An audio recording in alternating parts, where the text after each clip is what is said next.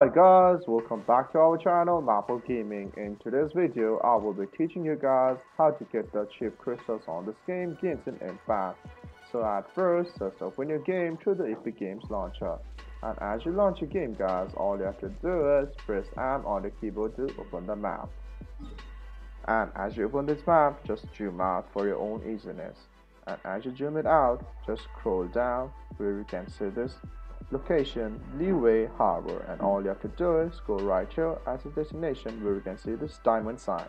Just select it and click in the option teleport to Liyue Harbor. And guys, as it loads, you're on the map. So all you have to do is go on left, symbol diamond. And as you reach the shop, just go approach it and press F. And go for the option first. What do you have an offer? And from here you can get the cheap crystals right here. As you can see it's all sold out.